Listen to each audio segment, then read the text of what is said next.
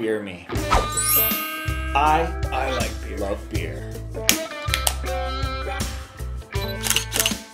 What beer is the best though? I I like beer. Damn. Let's get boozing. Are y'all ready to freaking find out which beer is the most delicious beer in the world? Because today we have the top 10 most popular beers in America, and we are going to see which one is the best.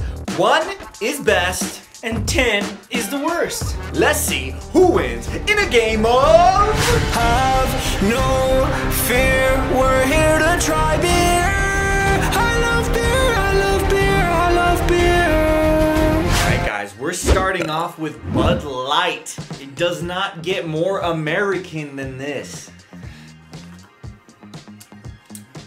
Tastes uh, tastes like an American beer. Tastes man. like Bud Light, man. I mean, it is what it is. I am not a huge Bud Light fan. I am not going to lie. It is not my favorite drink. It's not bad though. It's not horrible. It's okay. yeah, it really does have that like hoppy grain taste at the end to it, you know? Yeah, um, I don't know. When I have this, I feel like I should wear like mini like American flag swim shorts in like a pool with a floaty, like doing a pose or something. Yeah. I can't take my eyes off of it, moving so phenomenally. I um I would give this personally. I don't know if you guys know this. I'm really bad at getting the numbers right. So this number, what's that number, Jason? That's gonna be a 7. It's a seven. What do you think, Jason? It's Uh, up to you. We'll, we'll let you decide. Well, since this is the first one on the playing field, I'm okay. I think we should bounce it up to a 6, kind of keep it in the middle. That works for me. Bud Light, you're getting a six. Let's do the next beer. next beer is the Heineken. This is like your boo, isn't it? Low key my boo. There's a couple of boos over here. Hey. Hi. I, I like I, I like a couple different ones, but I do like this one as well. This is a nice one. Mmm, mmm, mmm, mmm, good. This is so uh, this is a very huge change in flavor coming from the. Maybe it's because Heineken's like a Holland beer. It, it does taste way different. Yeah, the, I wonder if it's the. the first flavor is different too. The the Bud Light has more of like a neutral flavor, and then you get the hops at the end. Yeah. Where this one has a more of a zing at the front, yeah, and then it's lighter at the end, right? totally. It's kind of it's more musky. It's definitely more musky. It's the Bud Light like right after. It tastes watery. that tastes way watery. It like after this, this tastes extremely watery. This is a lot stronger. I mean, it's still a light beer. Obviously, it's no Guinness or anything, but it has a lot more like Oh, those tendencies, yeah. it has a lot more flavor. It has more dimension. Yeah. I don't know, man. I for me right now, I would give it a this number, A three. a three. What do you think, buddy? Yeah, it's up there on the on the taste. I think the profile of it is a lot more than the like. If you drink this and drink that, that's pretty watery. Super watery. That's why I don't like So the profile is way more immense than the, the Bud Light. I want to take it up to the top. Yeah. yeah, it lingers with with you too. The taste. Yeah. So what what number? Let's take it up to three. Three for the Heineken next. Next up is the Miller High Life. It's got the same aroma coming off of it as like the Bud Light, When I think of Miller, I think of like Bud Light's cousin. the cheaper version of Bud Light. Is it? I, don't. I don't remember. I bought these, but I don't even remember which one was more. I like this more. Has a bigger profile. The can, look at The can's massive. the can is massive. It's for a big boy. Like Shaq would be drinking this shit Yeah. right here, That's like a normal can. It's like a 12 ounce can to Shaq. right? Um, I don't know. I think the thing is too. I like a little bit stronger taste. For sure. Because if you like a really light taste, you might like a Bud Light. Yeah, this definitely feels like it's lingering on that darker side. Like it, it's got a lot of that flavor. It's definitely profile. not dark, but yeah, like it's stronger. Yeah, Like even this, like I need to see. I actually think I might like the Bud Light a little bit more. that's what I was actually. Did you taste it? Because it, it is stronger than the Bud Light, kind of like the Heineken, but it's not like a better stronger. It's not like it's a good flavor. Yeah. Like the Heineken has a nice taste to it. Right. This just tastes like a dirty Bud Light. Like- a Cheaper version. yeah, okay, you're right. What do you want to give this one? Let's take it back to about an eight. Give it an eight, folks. Can, man. All right, guys, let's do the next drink. All right, guys, next up is the Stella. This is also one of my boos. I really uh, enjoy Stella. When I was like really drinking a lot of beer in my younger days, 'cause I'm so damn old now, you know, that this is one of my top beers that I would drink. Mmm. Come on, that has a nice taste. Yeah, it's it's like super light, like the Bud Light, but it actually has a flavor profile behind it. And it's lighter than the Heineken. I don't even know, actually. I think I might like this more than the Heineken. Yeah, I think it's a lot lighter than the Heineken. The Heineken was the closest one to a dark beer so far, even though these are all lights. But Um, depending on what you guys like, it's it's kind of hard because this one's really good. This one's really good. They're both almost, I think, the same in different ways. Yeah, I just think the Stella's a little bit more refreshing than the Heineken. Really?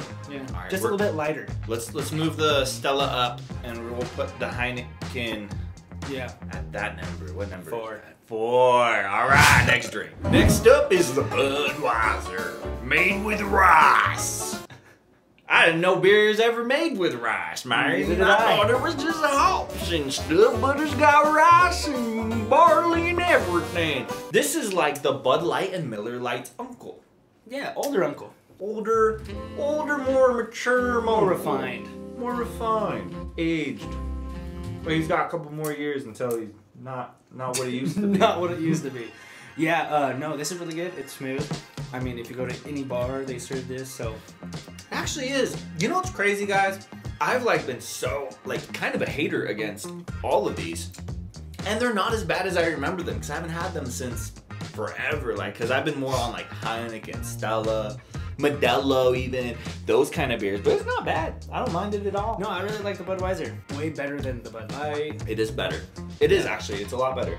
I think it's gonna go up to at least five, or maybe we can move the still up to two, and the Heineken up to three, and Bud Light takes fourth, or Bud.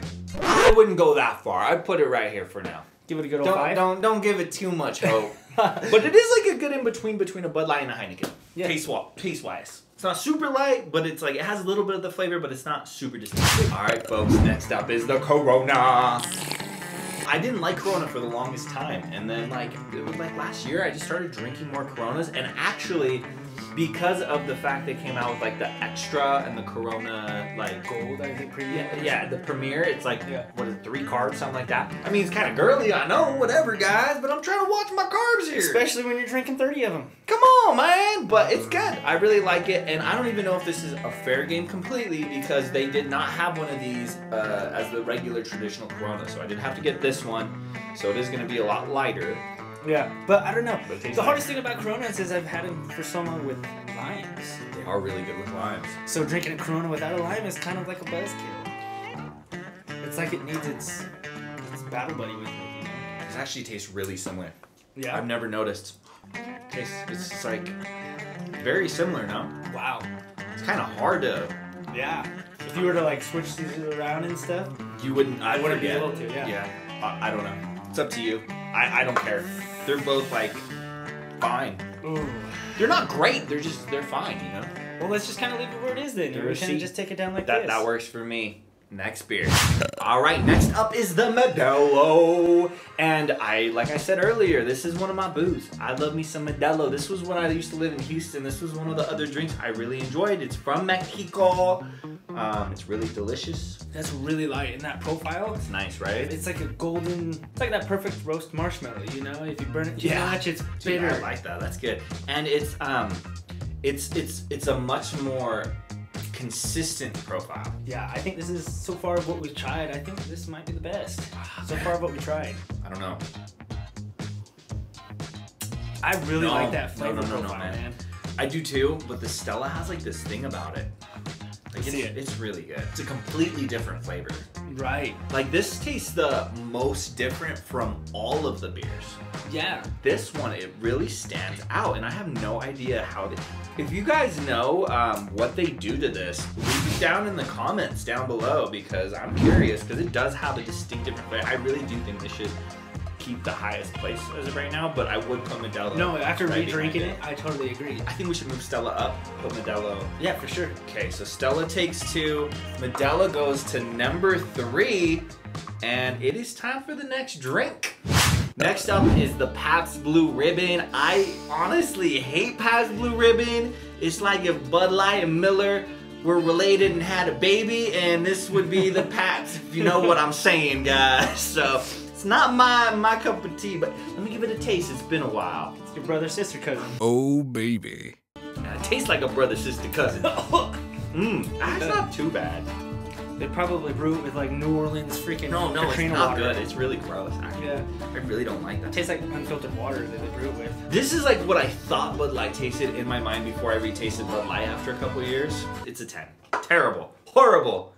PBR, you're not the one. All right, let's go to the final round. So you guys are probably wondering why is it the final round when there's two beer slots left? And well, that's because guys, like every other video, if you've watched my stuff in the past, you know that I gotta up at least one time, and this is it.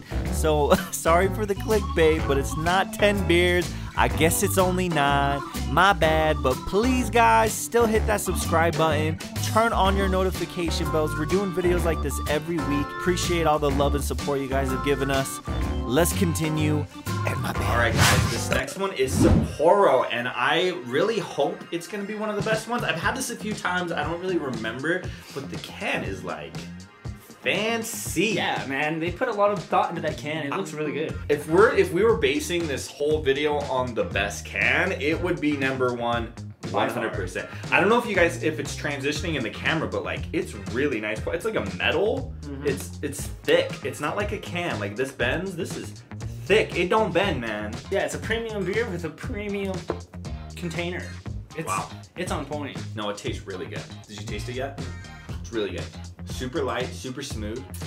Kind of like a thick, foamy flavor to it. Yeah, no, that has a great taste to it. It's really good. It's really smooth and it's very consistent. It's almost like a mix of the top three Yeah, all in one. yeah. It's really good. I think I think Sapporo for the win. Uh, man, you know what? It's pretty damn I think good. Sapporo for the win. Sapporo, you are the winner. Congratulations. I've never, I've never had this. I didn't even realize that this was a thing until today. You're welcome.